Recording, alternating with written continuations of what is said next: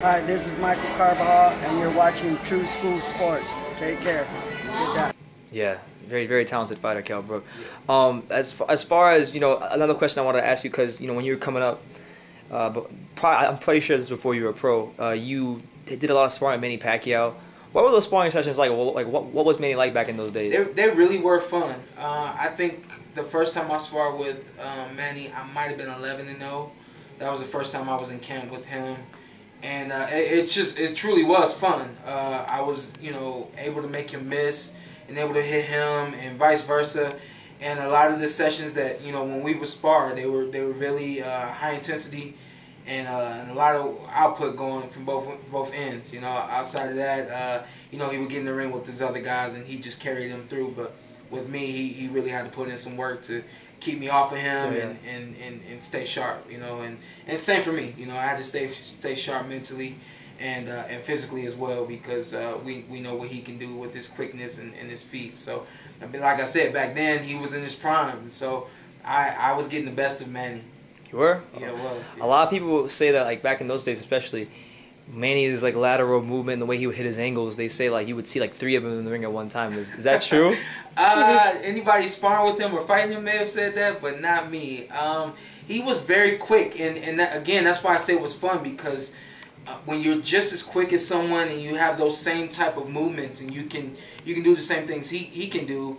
You know, it's it's it's bang bang. It's just as quick as he's making that move. I'm making the move to defend it or to you know to be offensive. You know, so that's what made it so competitive and so fun being in the ring with him. Was it was a lot of bang bang, a lot of bang bang, a lot of that. Yeah, you know, yeah. and a lot of that continuously for you know five, six, seven, eight, whatever rounds we did. Yeah. Um, being that you, how old are you now, Shawn? 26? 29. 20, 29. Oh, 29. Yes, okay. Yes, so, I think it's fair to say uh, you're in the prime of your career. Yes, sir. So, how, what do you feel like you've improved on to, to, to, to continue making steps forward in the welterweight division? Uh, I would say maybe the number one thing we, we try to do is just get better.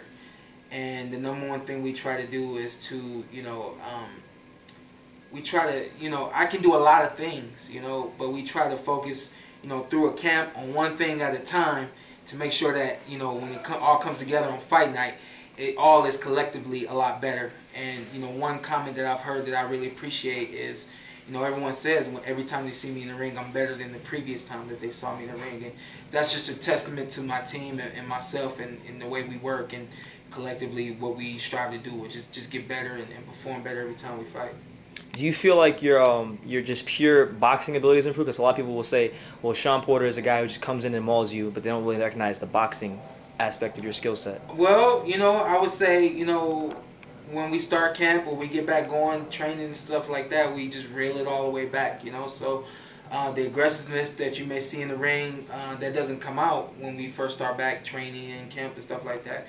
We're focused on the jab. What's the jab? The most simple thing in boxing, but we work on improving the most simple thing. That way on fight night, it's that much better. And I think what you've seen over the last course, the course of the last few fights, are guys that aren't willing to come at me and I have to go at them. So um, before we were going at them with a lot of power and a lot of aggression, and now we're starting to, you know, work in more jabs, more boxing, setting up the power, and you know, trying to make guys come to me and you know things of that nature. You know, so um, yeah, I would say that the boxing ability has improved but it, it's only because everything else is improving.